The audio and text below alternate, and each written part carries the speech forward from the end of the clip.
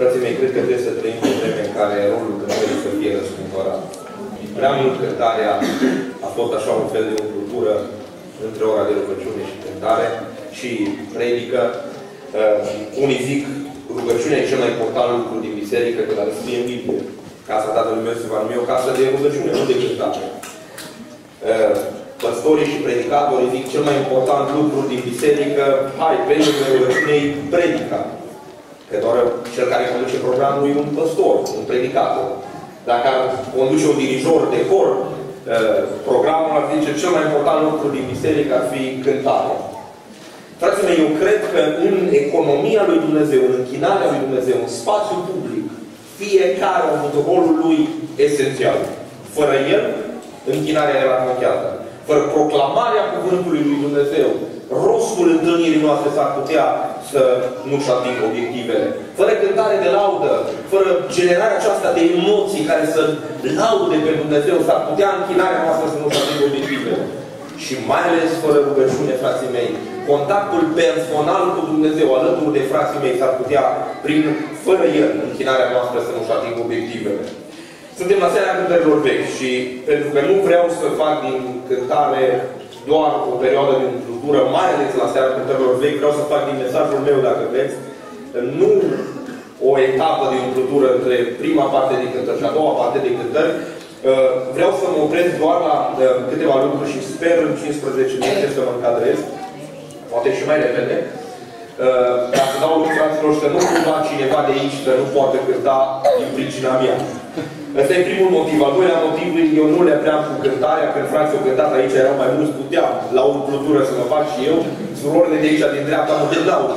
Parcă, parcă ceva mă despre că mai bine stau. Uh, jos, nu o să vorbesc despre linii melodice, despre chestiuni de genul, și vreau să vorbesc despre mesajul cântării, despre câteva elemente de mesaj, de teologia cântării, care cred că uh, o comportă o schimbare zic eu, dramatică în perioada aceasta. Suntem la seara cântărilor vechi și nu o să vă întreb dacă cineva cu ridicare de mână aici, nu suntem la lumea generală, dar cu ridicare de mână. Există cineva aici care, în modul cel mai sincer, înainte să-și cânte cântarea, a verificat-o câte de veche îi? Dintre cei care au cântat, sau care vor cânta. Unu, doi. Știți an, lună? Sau aproximativ. Înainte de 30. Bun. Acum vreau să vă întreb, dintre cei care au cântat, Poate cineva să răspunde care a fost cea mai veche cântare care s-a cântat? Credeți? Aici vreau să spun că s-a cântat o cântare de 2800 de ani scrisă. De 2800 de ani scrisă. Cea mai veche cântare. Dacă ar vorbi de vechimea a doua cântare a fost doxologia aceea frumoasă, nu e atât de veche ca melodie, dar ca mesaj e veche decât Noul Testament. De aproximativ 1900 de ani, uh, 1950 de ani avem doxologia aceea din Noul Testament, din el, prin el și pentru el sunt toate lucrurile. Amin. Dar astea două vă spun sigur cu ani, că cam atunci s-au întâmplat lucrurile, alte probabil mai vechi, mai noi, nu știu. Dar vreau să spun că aceste două cântări în ele, și nu contează cine le-a cântat și cum le-a cântat, ci aceste două cântări în ele poartă cel mai vechi mesaj la omenii. Fratele meu n-a cântat, dar a citit. Poate era bine, nu știu dacă există o cântare, știu că cântarea care fratele meu a citit-o, uh, cântarea lui Moise, poate cel puțin din contextul istoric, cea mai veche cântare, pe care din Biblie, dacă vezi, nu știu cântată, uh, țin minte că dădeam, uh, eram un prieten cu un băiat din Cluj, cu Ionuț Strate, uh, care acum e în Australia, și dădeam ore de matematică, îl ajutam și chiar în perioada aceea, mama lui a compus o linie melodică pentru cântarea aceasta, pentru cântarea lui Moise. și îmi plăcea, îmi plăcea extraordinar de mult. N-am mai auzit-o niciodată cântând, probabil doar dânsa o cântă. Deci am zis lucrurile acestea, frații mei, pentru că zice mizarea cântărilor vechi. Dar ce rost are o asemenea seară? Suntem anul 2000, nu? 18. Toate lucrurile noi, ce rost are o asemenea seară? De ce să răscolim în, în gherele trecutului? Frații mei, pentru că vreau să spun că trecutul, oricât de întunecat, oricât de aruncat în ceață ar fi, poartă o valoare inestimabilă. Noi ne schimbări. Vă dau doar un exemplu. Acum 60 de ani, părinții și bunicii noștri, căruțele alea cu rost de lemn, le aruncau la gunoi. Am trecut la ștrafuri, fier, domnule, rost de dacie, de aro și dă înainte. Și acum bogații, cum să dintr-o dată le-au venit ideea să ia căruțele alea vechi și să le, nu să le folosească, ci să le folosească pe post de muzeu. Știu pe cineva personal care a dat 2500 de euro pe o căruță de aia. Numai ca să o aibă în curtea casei. Bătrânul de la care au cumpărat-o, nu știu dacă o cumpărat de la piciorul sau nu știu dacă ar fi folosit-o de lemne de foc, că nu are nicio valoare. Vedeți? Poți să răscumperi lucrurile vechi. Uh, paharul, se zice că lui Napoleon o valorat câteva zeci de mii de euro.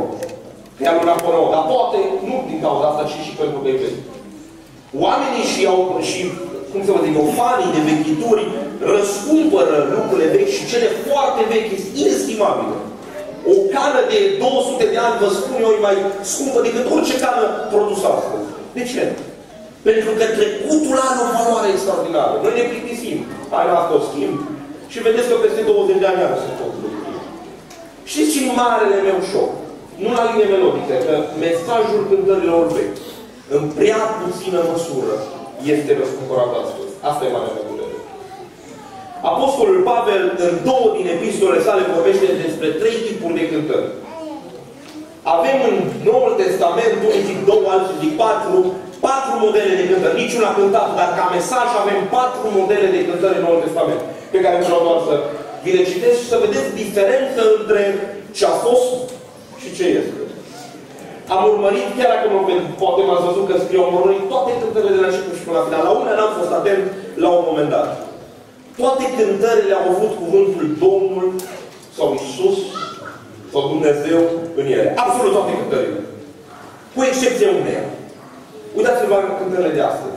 Eu nu vorbesc de ritm, nu vorbesc de linie melodică, nu vorbesc de tip de muzică. Eu vorbesc de mesajul cântărilor de la urmă. Apostolul Pavel folosește doar două texte și vreau să vi le citim, să le citim împreună, de fapt două versete. Avem Filipeni 5 cu 9 și probabil îl știți. Asta ce zice Cuvântul lui Dumnezeu. Uh, Efeseni 5 cu 9, scuzați. 19. Vorbiți între voi cu psalmi, cu cântări de laudă și cu cântări duhovnicești și cântați și aduceți din toată inima laudă lui Dumnezeu. Acum vreau să vă întreb, poți să vorbești cu cântare? E o formă de a spune, dacă vreți, prin care Apostolul Pavel vrea să trăieze trei cântări. Și dacă n-ar fi așa, n-ar fi Coloseni 3. Haideți să ne deschidem la Coloseni 3. Versetul 16 zice așa. Cuvântul lui Hristos să locuiască din belșug în voi, în toată înțelepciunea. Și a zice, asta e pentru predicator, să știe bine Biblia, să nu ne vinde roșcoală. Învățați-vă și sfătuiți-vă. Cine învață și sfătuiește? Pastorul, comitetul, predicatorul. Și zice, învățați-vă și sfătuiți-vă cu psalmi, cu cântări de laudă și cu cântări de ovnicești. Învățați-vă și sfătuiți-vă, ștergeți de la învățați-vă și sfătuiți-vă până la prima virgulă. Cântând lui Dumnezeu cu mulțumire în inima voastră. Cum adică să înveți și să sfătuiești cântând lui Dumnezeu? Ce legătură are între învățătură și cântare? Dar până să ajungem acolo, vreau să zic cele trei tipuri de cântări care au existat în Biserica Primară. Nu știu dacă au fost mai multe de aceste trei cântări. Psalmii cântați, Biserica primară cânta psalmul. Și dacă vă uitați câteva scrieri, noi poate nu le cântăm și avem puțin psalmi care putem cânta. Să dea Dumnezeu să fie oameni, nu știu cum, de, oamenii le preferă mai ușor să traducă cuvântul unui om din America, din Londra, din nu știu unde, decât să pună pe o linie melodică un psalm.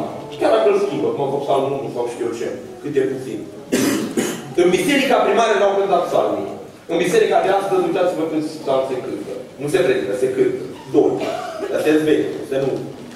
Noi am vrea puterea bisericii primare, dar să nu împrumutăm forma bisericii primare. Doi.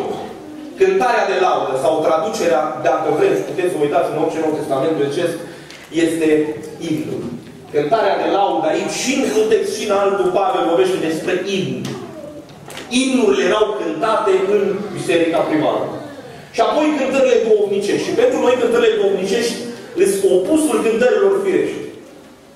Ăstea care sunt mai așa, mai, mai ritmate, mai moderne, care ne zgândere noi, ăstea nu sunt duhovnicești. Uite, ăstea sunt duhovnicești. Vreau să vă spun, dacă cântările duhovnicești se referă la ce credeți dumneavoastră, atunci ce rost ar mai avea cântările de laudă? Înseamnă că psalmii și cântările de laude îți firești și cântările duhovnicești e o altă categorie de cântare. Nu? Logica mea asta îmi spune.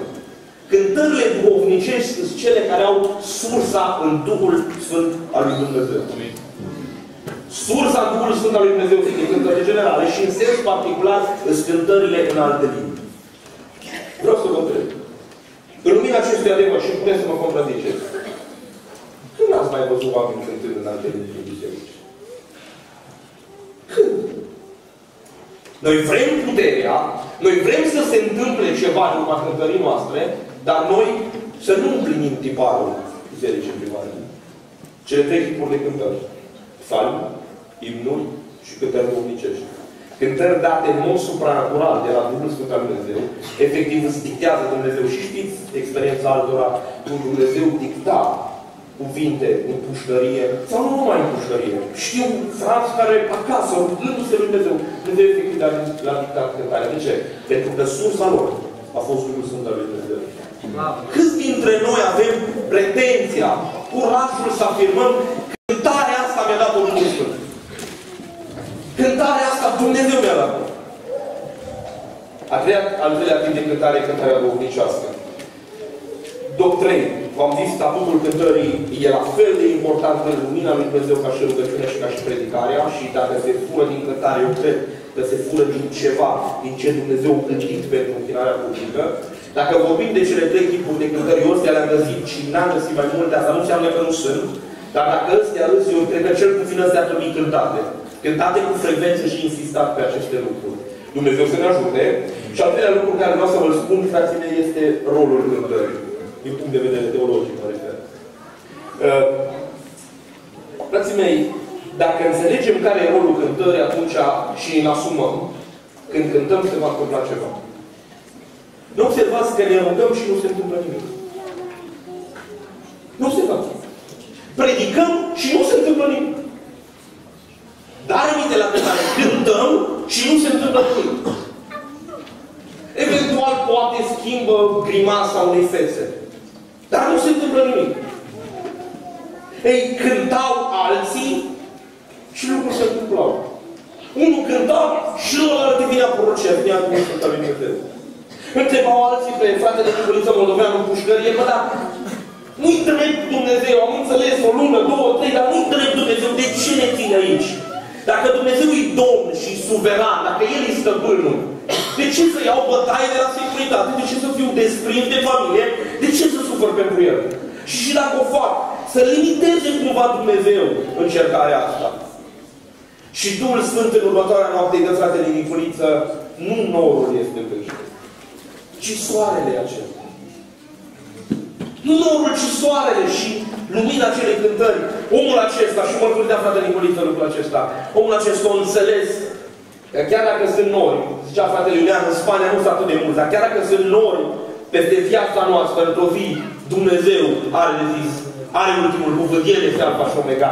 O cântare care îl proslăvește pe Dumnezeu.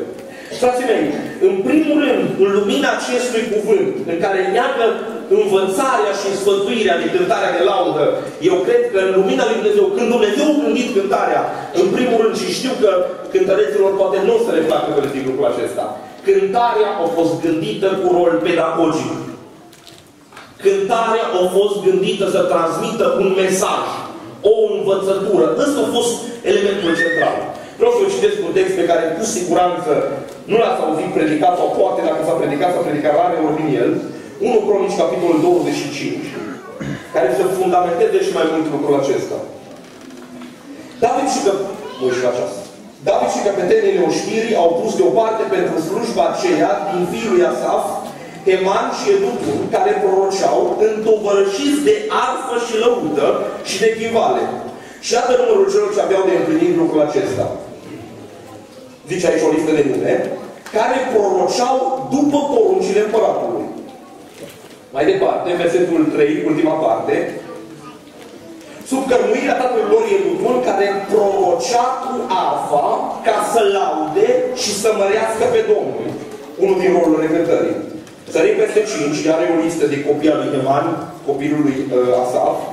Toți fiii lui Heman, versetul 5, care erau, era văzătorul împăratului, adică omul care avea vedenii și zicea împăratului ceva din partea lui Dumnezeu. Ca să descopere cuvintele lui Dumnezeu și să înalțe puterea lui.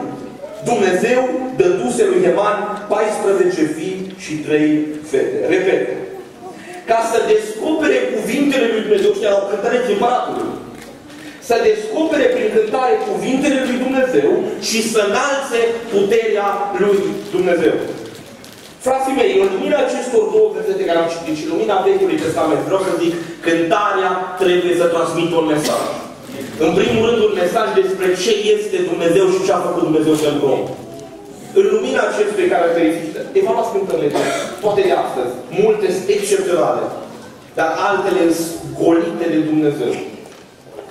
Mi-am propus, dacă nu în cântarea aceea cuvântul Dumnezeu efectiv să se cânte o verset și nu apare în cântarea cuvântul Domnul, Dumnezeu sau Isus Hristos, cântarea aceea să nu cântă. Poate prea radical. Dar, frații mei, cântarea asta pot să o iau un musulman și să o adreseze lui Allah și se potrivește. Nu. Islamul la modă astăzi. Ei, frații mei, eu cred că de aceea nu se întâmplă nimic când cântăm, pentru că tot mai mult în cântările noastre nu există numele Lui Isus. De ce credeți de, de nebune a zis Hristos ucenicilor? Vă vreau să vă învăț o altă rugăciune. Folosiți nici acolo o rugăciune numele meu. Cereți în numele meu. De ce? Pentru că dacă până acum ați cerut în numele meu și s-a întâmplat sau nu s-a întâmplat, dacă cereți în numele meu și o faceți cu credință, ce cereți, Dumnezeu vă dă. Dacă cântăm numele Lui Hristos, frații mei, dacă îl proclamăm pe Hristos, dacă ăsta e mesajul care îl transmitem, nu mână cu mână și mergem și facem și ne iubim și ne jertfim și ne zmerim și Hristos face noi lucrul ăsta, atunci în fața oamenilor ar fi mesajul acesta. Hristos. Dumnezeu să ne ajute. Doi. Vreau să zic că cântarea de laudă adevărată să transmită o emoție. E normal să fie așa. Sunt multe lucruri care cântarea de laudă scurcircuitează, zicea Daniel Brânzei eh, la un moment dat într-un articol, scurcircuitează drumul la minte. Nu ajunge la minte. Ajunge la inimă. Mă duc și miros o floare. Pune un cuvinte. Cât de tare miroase trandafirul în comparație cu primul. Explic-o. Zi-o. N-ai cum. Dar inima se înalță. Vezi o priveliște frumoasă. E pune în cuvinte. Ăștia poeții să mai pricep, dar n-ai cum să transpui trăirea aceea. Ei, cântarea are rolul acesta, să ajungă la inima omului. Și să dea Dumnezeu să fie cât mai multe cuvinte care să transmită emoții, emoții lui Dumnezeu. Emoții care să creeze cadrul Duhului Sfânt. Dar încă o dată zic, primul rol este mesajul. Apoi, frații mei, vreau să zic că rolul cântării de laudă trebuie să exprime recunoștința noastră față de Dumnezeu. Asta o zis și în primul verset și în al doilea verset Pavel.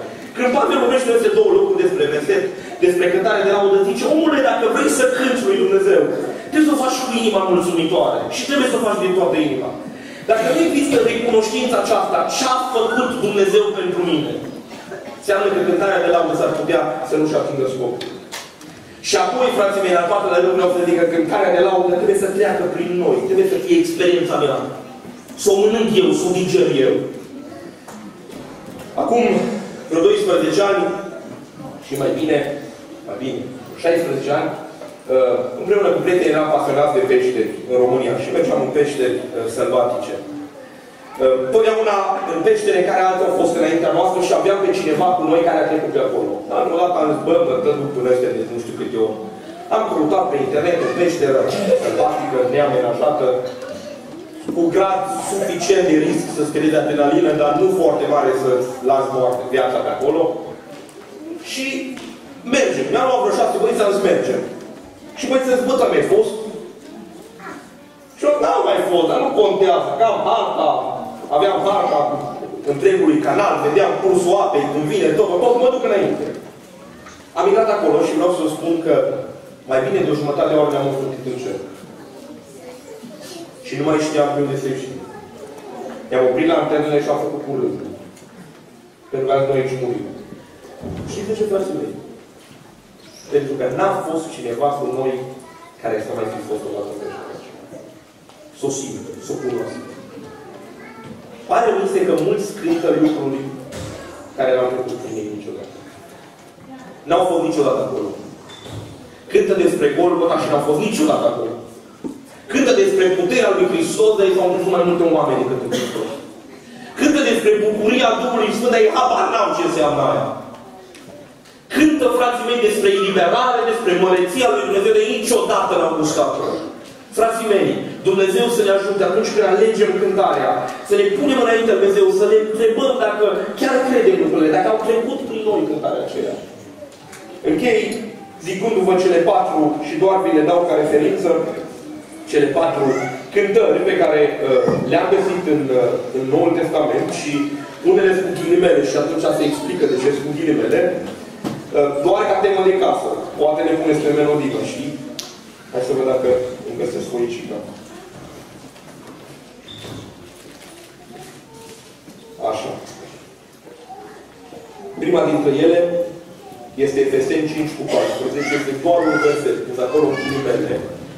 Uh, parcă nu are rost de acolo. De fapt, Pavel citează dintr-o cântare care se cânta în Biserica Primară. A doua cântare vorbesc de Filipeni 2, de la 6 la 11, și a treia cântare vorbesc de Coloseni 1, de la 15 la 20. Uitați-vă acasă la cântările acestea. N-am văzut încă cântări mai dense teologice, mai pline de Hristos, ca și cântările acestea. Ori de câte ori cântați o cântare, uitați-vă la aceste trei cântări.